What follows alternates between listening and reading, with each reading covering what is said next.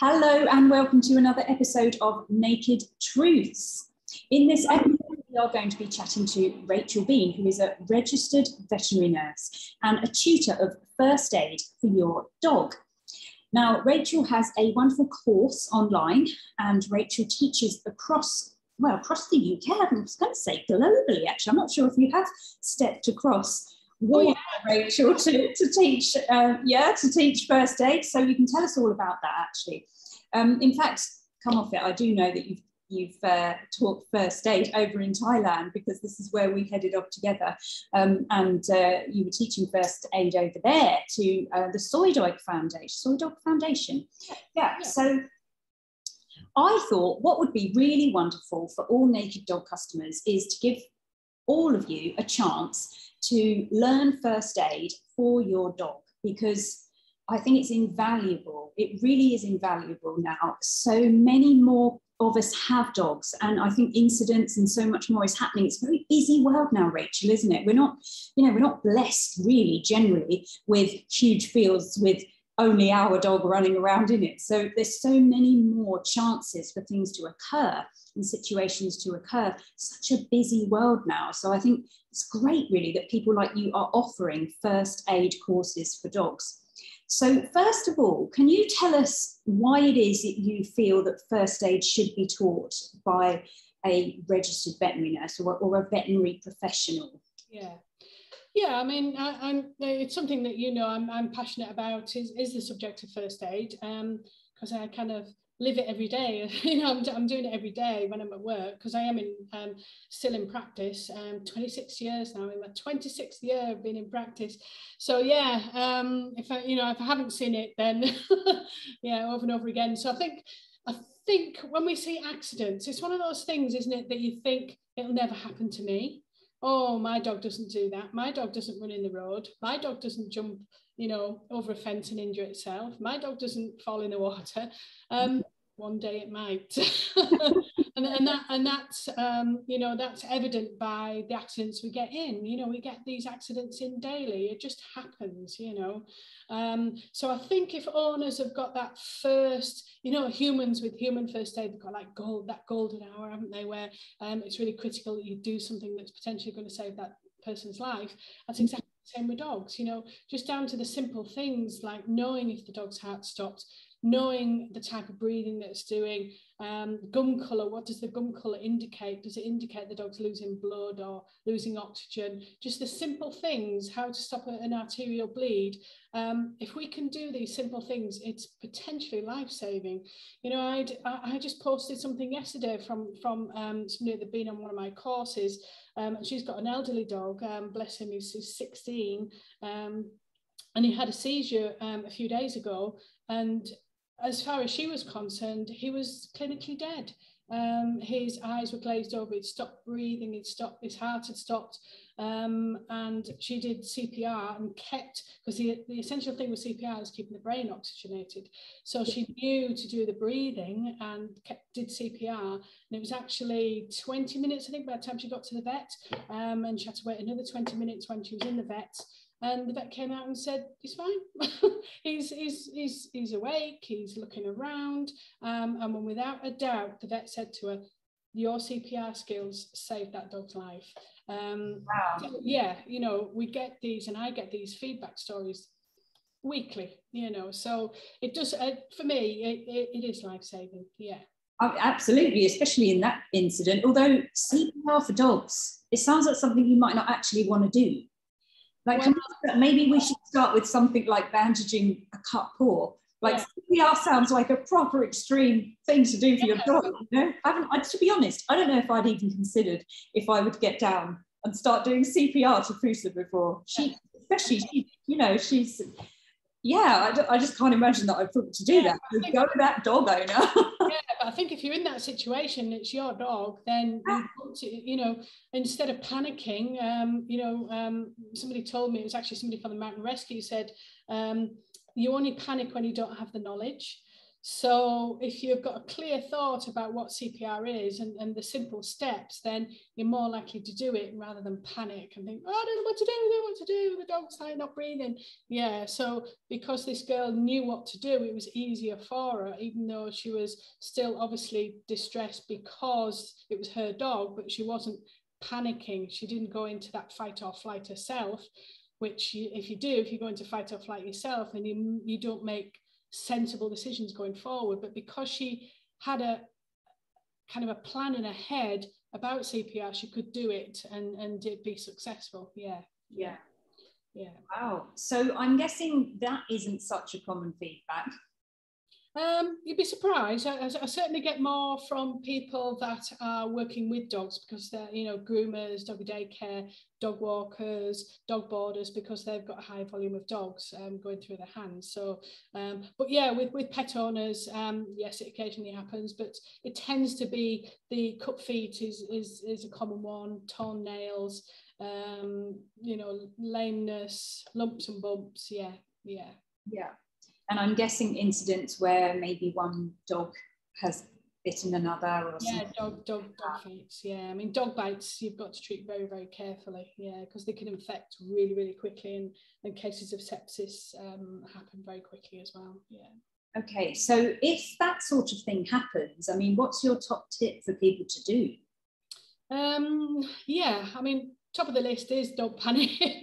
um, if you've got if you've got a severe bleed, um, any any open wound, um, and if it's whether it's arterial or um, like a venous bleed, you can certainly bleed to death from that. Um, if it's arterial, it will tell you if it's arterial because it will be um, a high volume of blood coming out at high speed, usually spurting or within with a pulse.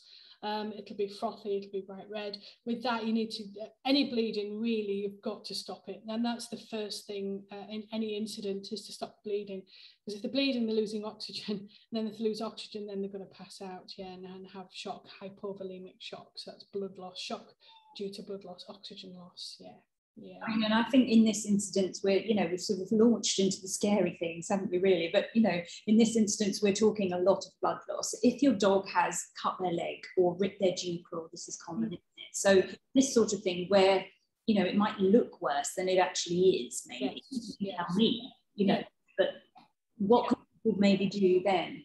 Yeah, I think I think the main thing is to once you've um, sort of stemmed the bleeding is to cover it. So just put a nice simple bandage on. If it's if it's bleeding a lot, then you need to put like a very a very tight bandage on. So it's like a compression bandage. But for just normal bleeds that you think oh it's not it's not life threatening, just a normal um, two layer bandage um, that would be in your first aid kit. Um, I wouldn't worry about washing it, cleaning it, or anything like that, or putting any um, sort of ointments on. I think I think we see this a lot on Facebook or social media where you've got a small graze or a small cut, and then it's what can I put on it, and you get lots of ideas, you know, all these salves and ointments and tinctures, and but if it's something minor, you know, the the, the body will heal itself. You know, it's got a healing process, um, about three weeks, something like that. So sometimes if it's minor, then we just leave it to nature. You know, if we get a scratch, we don't put loads of things on it to make it heal quicker. Mm. Um, heal, making things heal quicker can be detrimental to, to good healing because it has a process. So sometimes okay. we can go a little bit over the top with some minor things. Yeah. Mm. Well, I think the thing is we do worry because there's an element of they're not a human. So there's an element of we don't understand them. But I think I find that often with nutrition as well, that there are more correlations than we maybe believe as a, as a, as a dog guardian. And, and actually, when we actually stop and think about this, a lot of things are functioning in the same way as, as if you found, um, you know, your child would cut their knee, for instance. Yeah, yeah yeah, you know, a grazed knee, we wouldn't, with a child, we might put a little bit of cream on to help, you know, the child emotionally with that, but we certainly wouldn't be putting lots of things on it and lots of uh, tinctures. We just let it do its do its thing and, and heal naturally. Yeah, yeah. So tell people a little bit more about the sorts of things that you can teach them. Yeah, I, I mean, when I do my face-to-face courses, I don't um, that particular course, I don't actually do um, PowerPoint because I like to have smaller groups um, and we're around a table with me at one end teaching out of a workbook that's with a pen and a workbook and missing words and missing phrases. So they actually have to engage. Uh, they have to interact and we do discuss things because usually even if we've got dog owners they've the experience at being dog owners so they've got stories to share they've got questions to ask. I think if you're in front of um, people at the front with a powerpoint of this particular subject um, people are less likely to put the hand up and you know but if we're around a table it's much easier then to have a quick conversation. And i tend to i talk about and teach all the common first aid scenarios. So everything from bees and wasps things to, to snake bites adder bites to hypo and hyperthermia all types of types of shock. Um, uh, what else? Um, cuts what what type of cuts? So from incisions lacerations, what the differences are, um, poisonings as well. So we get a lot of those accidental poisonings at work. So what to keep away from the dogs, as, as in sort of your medications and plants and um, chocolate and uh, raisins and all that kind of. We've already had our mince pies in already, so mince pies. Yeah. So, so what, what I like to do is give the people a bit more. I mean, a lot of dog professionals say they're first aid trained, but they might have only gone to a basic one. I try and give a lot more in depth because of my experience in veterinary practice. Um, I can give a lot more information and a lot more realistic um, overview of, of what does happen and what can happen. Um, mm. And now actually working with um, iPet Network, we can offer an Ofqual level three qualification in canine first aid as well. So especially for the vet, you know, pet, vet, pet professionals being taught by a vet professional is is the way to go um, because you know you get you get a much fuller picture and much more information um, given yeah and they can do yeah as I say they can do a level three qualification now as well yeah. okay so that's more for the pet professionals rather than the pet guardians as such isn't it the Ofqual yeah, but it's actually the same material. Um, I teach exactly the same material to the pet owners. Mm. Um, yeah, um, and it's tailored then. The discussions are tailored, so I will talk about whatever they want to talk about. You know, if they want to do more in depth about wasps things, then I can do. You know, it's uh, it, that's where it's not structured in a way that I cannot say, oh, we'll spend 10 minutes on this because you've asked that question. I don't say, oh, I've got to move on quickly. Sorry, I've got to move on quickly. It's, you know, I will, I will tailor it to what everybody wants to discuss. Yeah. Yeah, brilliant. Okay, so this time of year, you've mentioned mince pies already. Yeah. Give us a few hints and tips. What can people take away from listening to your talk today that's going to make sure prevention is better than cure that their dog doesn't end up in a first aid situation? Yeah, we've got a few things. So main thing um, is the changes at Christmas. We put Christmas decorations out. Um, they can be um, lethal if dogs and cats eat um, Christmas decorations. We have that. Um, tinsel seems to be a, a, popular one with cats for some reason.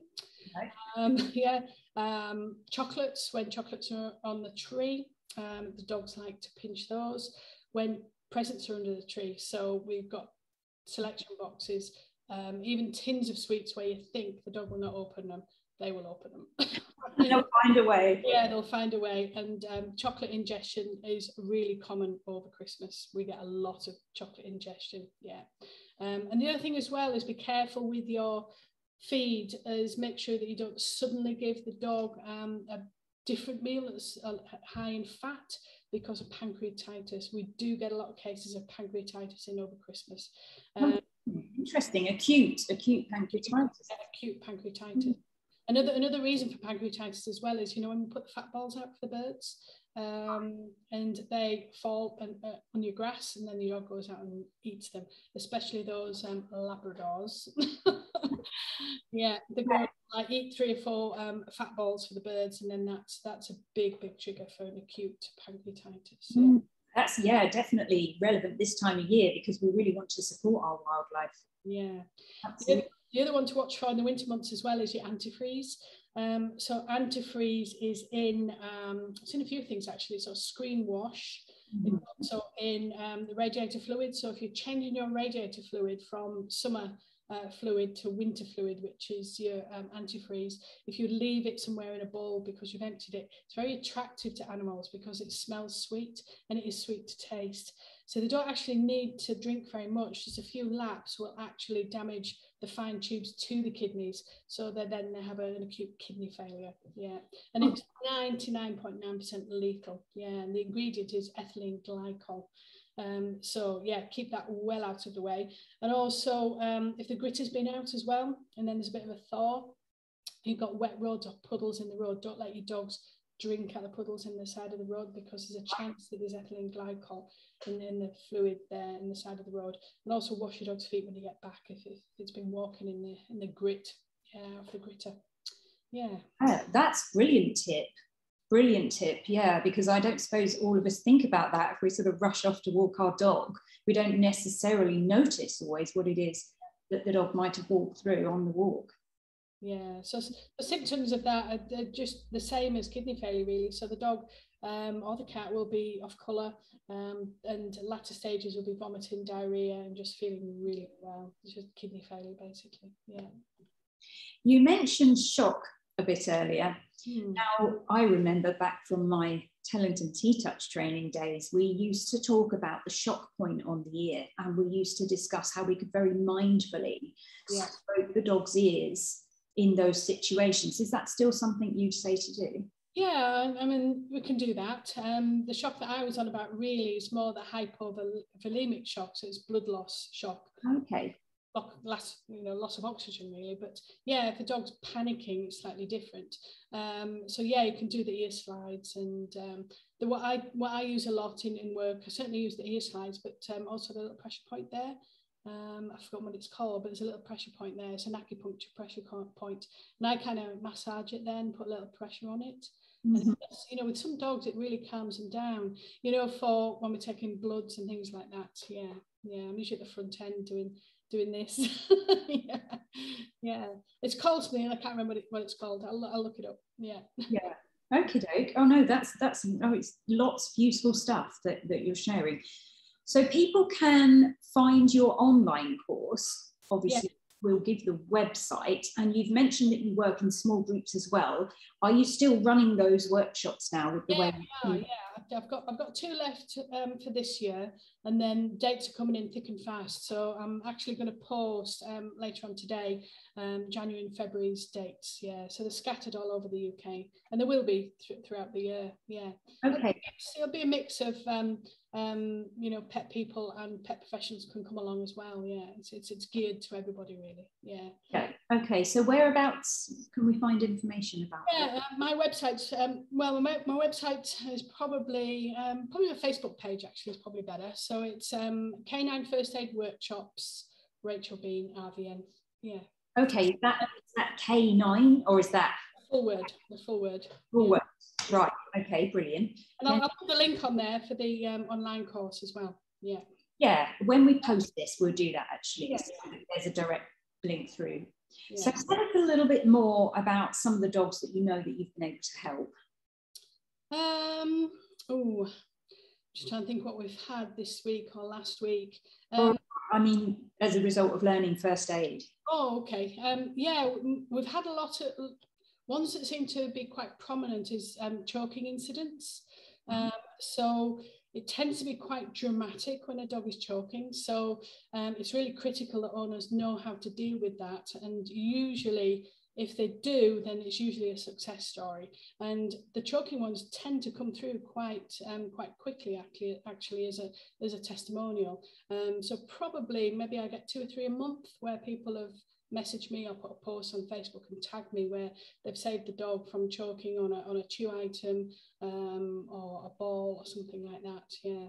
So that's why, you know, when, when we're natural feeding as well, it's, it's really important to stay with the dog if you're giving them chew items. Yeah. Because yeah, I mean, this is a thing. Yeah. It's, it's, I'm guessing, really understanding the difference between raw meaty bone being, bone being gulped down as it should be to something actually being stuck and choking occurring. Yeah, yeah. yeah.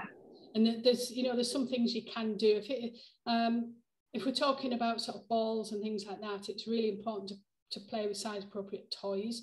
Um, the, the most common one that we see is that hard rubber ball. It's just marginally smaller than a tennis ball. Um, and for anything over of my size dogs, sort of 25 kilo, mine are quite small Labradors. When you get like big retrievers, you get a big male retriever that's like 35 kilos. the tennis ball, although even a tennis ball, that hard rubber ball is going to be too small because their throats are really, all dogs' throats are really flexible. So that ball is, is too small. All you need to do is throw it. And if the dog jumps up at the right angle, just goes whoop, straight down and lodges in the back of the throat. Yeah. So play with size appropriate toys. Balls with ropes on is better, um, but good quality ones, not the cheap ones that you get at the, you know, cheap um, sort of stores and things like that. Um, has to be good quality rubber ball with a hole in the middle where the rope goes through the middle. So if you do have an incident, at least um, you've got some way of pulling, pulling it back out. Yeah. yeah, wow. You wouldn't even think of that, would you, when you were looking through your dog's toys? You wouldn't think, oh, let's buy something that will allow for air to circulate should they choke on it. So yeah, it's really useful information. You know, whether we're all going to remember it, I don't know. We'll have to be making notes of it. yeah. so yeah, so you've taught abroad, haven't you? you? You've gone out and taken your workshop yeah i mentioned i forgot but then remembered about the thailand uh, workshop yeah yeah so yeah thailand um so before covid i've been i mean we went five years ago didn't we six years ago maybe I don't know. Yeah. now because I look at my dog and I think, hmm, how long have I had you? Because she obviously was from there. Yeah, so I've been going sort of two or three times a year for the last six years before COVID. Um, and every time I, I, was getting opportunity to teach something, yeah. And then um, two year, for two years before COVID, I was going to India as well. Um, so I've been teaching in India, in Bangalore and, and um, a few other places at shelters. Um, and then I had a couple of weeks in Cyprus, so I taught there. And then the plan was to actually go to New Orleans. Um, I've got a friend there that's got some big dog projects going on. Mm-hmm. Uh, and I was due there, but couldn't go because of COVID. Then I was due to go to Beijing um, just as COVID hit. So that's been hopefully postponed, but we'll, we'll have to just see. Yeah, so yes. Rescues, you're going over to shelters. Yeah. Yes. Yeah, okay. Yeah. yeah, it's such amazing work yes i enjoy it because it's it's challenging as well you know obviously there's there's the, the language barrier the the shelters in india um the staff just had absolutely zero english um so we had to use interpreters and but yeah it was i've got some great videos of us teaching cpr and they really enjoyed it yeah it was good yeah. Yeah. One of the things I recall actually from that, that workshop in Thailand was um, you bandaging a tail mm. and you were showing the staff how to get this bandage to stay on because obviously when you bandage your tail the first thing they do you wag their tail it yeah. can fly off so just tell people a bit more about that yeah, so you just bandage it. Um, I mean, usually tail injuries are what we call happy tail. So it's where they've banged the end of the tail, it splits the flesh, um, and you just get this constant battle of trying to get it to heal. I mean, in some cases, if it's really bad, we do have to amputate quite, you know, a bit further up to to get rid of that damaged end. But if it's um, if it's a cut or, or um, um, sort of some some hair ripped off, if they've been through brambles or whatever, they've got long hair, um, what you can do is just put your normal bandage on and then the secret is to keep it on. If you use elastoplast, so you've got your, let's say this is the tail, you've got your bandage on, this is the body up here, and you just use your elastoplast around, push some hair over it, and then another round of elastoplast, some more hair, and around some more hair. Do that three or four times, and that would that will keep the bandage on. Yeah. Okay, so it's sort of using the hair as an anchor in a way. Yeah, yeah, that's a uh-huh. really good that. Yeah. Yeah, that always looks awful. When, when I was in kennels many years ago, I remember going in one morning and thinking, wow, what's gone on here? And then you realize there's this tiny little cut at the tip of the tail, but the blood is literally yeah. just flying out the tail. Yeah, it's the same with ears as well. We had a spaniel in last week that um, it, it, it'd been in a I think he was just playing rough with another dog, and it, literally it was the tiniest nick on the end of his ear, and he was a bit stressed that we couldn't get a bandage on it because he was too stressed. And that's actually uh, another reason with puppies and young dogs is to get them practice getting bandages on uh, mm. and the um, collars that you have to use for operations. Get them on when they're puppies so they get used to it because this unfortunately the spaniel was was bleeding but you know it was only a little nick but every time we put a bandage on he was just super stressed and he was just it was more stressful for him having the bandage on than actually having a bleeding ear because he was just getting his feet in it and just ripping it off. You know, it was just, and we were just stuck then. I just had to do um, sort of street dog style and and just tape it on just the ear itself. And I don't know how long it lasted, but um, yeah, and it, it's really difficult, especially when you've got a client in the room trying to get a bandage on a stressed dog, you know, because it's really difficult because you feel for the dog and oh, we've got to get the blood stopped. Um, but yeah, the room, literally, the consulting room was just like, just sprayed everywhere, right on the ceiling and everything. So I'm glad it wasn't my job to clean Delegate. it was everywhere, yeah. And we had it, we had it all over ourselves like this, yeah, yeah. I think also maybe maybe one of the last things um, we should mention. You you did say that top tip really don't panic. Yeah. yeah. But I also think maybe second to that is really respect the dog because in yeah. that incident you didn't make the dog have that bandage on. No, no. You watched their body language, and I think that's that's an important factor to take into consideration because even our own dogs, we may not have seen them as scared as they might be when they're in pain, and we may not be understanding why they're doing the behaviors that they're doing in front of us. Yeah, so, yeah. you know, talk about that just just for a little bit. Yeah, I think I think I mean it's difficult to know if you've already got an adult dog or you've got a rescue dog or something like that. But if you know if we've got a young puppy, we can prepare them for those type of incidences.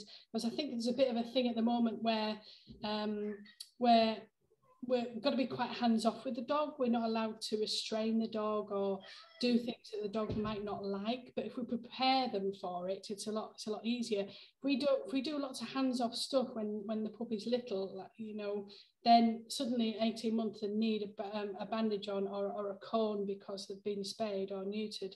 Um, then then they panic because they're not used to having any pressure on them you know? So i think it still is really important that puppies are handled correctly and they're held still and released and held still and released. So so they learn that a little bit of pressure or confinement or restraint or a bandage on them is not scary because it, it, it tips them into panic if you just put some kind of restraint on them, um, you know, like a bandage, because it, it kind of it triggers their panic and flight response, doesn't it? If they've got one limb that's that's got a tight bandage on it, it then triggers them into into um, um, flight behaviour or, fight behaviour. Yeah.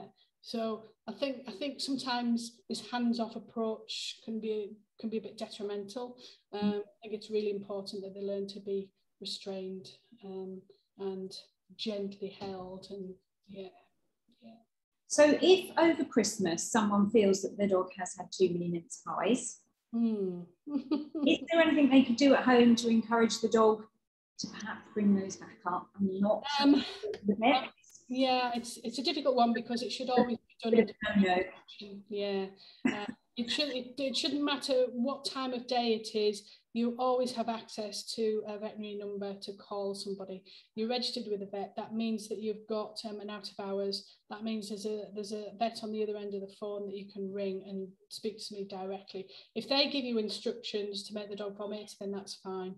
Um, because there's some things that we simply don't want the dog to vomit back up, you know, because um, it's unsafe. So the vet has to make that, yeah, the vet has to make that decision. It's one of those things you see a lot on on social media. My dog has eaten something and then you get 30 40 people telling them how to make the dog vomit saying oh the dog will be fine and all this. It's very irresponsible um, you know to say that in a dog that they don't know. Um, so always always ring the vet. And that's why it's really important that you have all your vet's details up to date. If you've not used your out of hours vets for a couple of years and you suddenly ring them in a panic and you, the number that you think it was and that number's obsolete it adds to the panic so i always advise people every three or four months is just ring your normal vet out of hours, listen to the voicemail and, and make a note of the forwarding numbers. So you've always got it as, as, as a valid number. Yeah. Absolutely. It's not as easy as 999, is it? No. no. Okie doke. Well, this has been fascinating. Thank you. Yeah, I've got some. Um, the other thing you might need as well is first aid kits. So, oh, yeah, yeah, I have designed. I sense Christmas present territory. Yeah. These are my own design. So um, yeah, it's a handy bag. What's packed in them? What I try and do with mine is to um, have things that are useful. So what's in mine is um, quite a lot of bandages. So, because if you've got a 30 kilo Labrador and it's cut its foot really badly, you're going to need more than more than one set of bandage. And quite often in first aid kits, there's one set of bandage and lots of other things that you don't necessarily need. Um, but these, it's packed full of bandages. There's tourniquet there and um, uh, foil blanket, eye washes, tweezers for pulling thorns out, all kinds of things really. Um, I do have a small one. This is great for staying in the car or, or your house or back here, you know, in the boot of your car. I do one that's small and it's kind of that size. Um, and that's an emergency bleed kit. You can attach it to your um, belt when you're walking or put it in a rucksack when you're walking. And what that's got in is the dire emergency. So it's got one foot bandage, tourniquet, foil blanket, and a bottle of um, Clot-It, which is the coagulant um, for uh, serious bleeds, yeah, arterial bleeds. I mean, arterial bleeds will always need some kind of support from hand pressure as well, but um, this stuff's actually come from the American military, um, so you can use it on people as well. The, the powder reacts with the blood and, and helps it clot, yeah. So. Yeah, so these are um, these are 38. The smaller ones are 30, which include a bigger bottle of Clot-It actually. I mean, the big bottles of these are 19.99 anyway, and these little baby baby ones are 9.99. Yeah. yeah. Oh, they sound good. Great. Well, really handy to have. Hmm. Yeah. Mm-hmm. Okie doke. All right. So, um, as I said, we are going to put Rachel's website, um, and I think it was your Facebook, wasn't it, Rachel, that you wanted to put up. So we will put that link up for you all. Yeah. And um, yeah, and, and, and you may be interested in uh, the online course that yeah. Rachel if you if you if you still uh, are someone who would rather stay at home and learn, online learning has become easier than ever? Yeah, I mean, it's self-led as well, so you can stop and start it whenever you want. There's no time limit on it. So you could buy it now and start it in six months' time. It's not a problem. Um, and each lecture is locked as well, so you can't actually skip through them. Um, you have to read it and look at, there's lots of videos, real footage videos, nothing, nothing drastic, just educational um, videos. Um, there's, there's over 200 multiple choice questions as well, so it just checks what you've what you've learnt. Um, yeah so yeah you'll find it interesting yeah. Nothing gory. Nothing really gory. Okay. All right then. Well thank you so much for being here. And if you have any questions for rachel do post them in the comments below so both of us will be able to see those and uh, we'll be able to support you and answer those questions as best we can i will tag you rachel if you happen to miss them and yeah we can go from there so fantastic. Thank you. Great information. And um, I will see you on the next episode of Naked Truths. Thanks for watching.